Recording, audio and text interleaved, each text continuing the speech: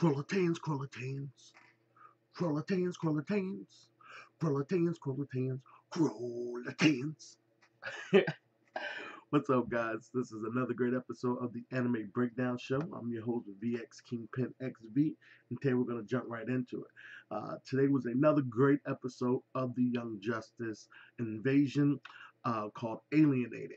Um, this was a really good episode. This is going to set the stepping stone for a lot more to come. Um, it started off uh, with the bang and uh, you know uh, the bee, the no, the insect uh, duo, uh, the, the, black guy and the black girl chasing uh, a Krolotean uh, who was making himself look like some guy who works at the uh, local IHOP in the back in the kitchen, um, which is stopped by the local IHOP guy in the back in the kitchen, uh, strangely enough. But you know, it's, it's, it's a lot of weird stuff going on. Come to find out, we finally see Aqualad and what the hell's going on with him. Uh, I got a couple of things about Aqualad. Uh, we don't want to get into it just quite yet.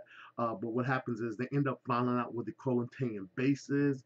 Um, Miss Martian uh, ends up doing her mind mind fucking shit. And she takes it out of the Krolantanian without his permission. Superboy's like, I better be there. And I'm thinking to myself, obviously they either knew she was going to do this or she just did it without their permission. But nobody's questioning this. But Superboy doesn't like the fact that she's basically just taking whatever the fuck she wants to take. And everybody's cool with that, you know, just basically making these things into a vegetable as she see fit. Which I don't know, maybe that's cool, maybe that's not. Who the hell knows? Um, moving forward past that, um, they end up finding where the base is. They end up doing their their uh, sneaky, sneaky stuff with uh, Batman, everybody, all of them end up getting there. Um, come to find out, they end up, uh, Aqualad end up discovering that they were there. A bomb is placed. Aqualad's like, blood is thicker than seawater. and when he says it, I'm thinking to myself, what happened? What happened? Well, come to find out, Tula died on the mission. Some girl who didn't like him. Uh, maybe they ended up together in the near future that we didn't get to see. But some girl named Tula that ended up with his best friend Calderon from the past episodes ended up being together. Like, whoa. And now she dies, and he blames it on the team. And everybody's like, dude, it was a fucking mission. Then you have Lagoon Boy say, don't coddle him. Um, and it's all getting all crazy, crazy, crazy. Every shit's happening, shit's happening and they have to make a decision whether to go after him or save the rest of everybody else. So finally, they had to make decisions, save everybody else, this, that, and the other. But there wasn't badass fight scenes. You had Superboy and Superman working together. You had all of the um, Bat team working together. You had Miss Martian. You, you had everybody. Everybody was kicking ass, taking names. Um, they were more in sync with their older counterparts than they have ever been in the past. Uh, that was pretty neat to see. Um, you know, so after all this happens, come to find out, uh, Green Lantern was sent on a mission to find out what were they doing those 16 hours because they were attacking some city and said we're from the Earth in the Justice League, and this is why the Kroloteans ever came there. Anyway, we're a badass race of people. Don't fuck with us. And they ended up like literally killing all these people, this, that, and the other. So now they have to go on an intergalactic trial for their lives. And uh, iconic man. He's like an intergalactic lawyer. He's going to get them off, you know, and say they wasn't, you know, in control of themselves, whatever that means. Um, they're gonna move forward.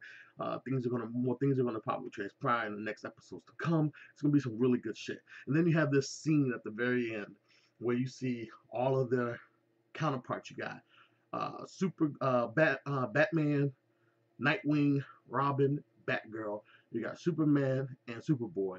You got uh, Miss Martian and uh, Martian Manhunter.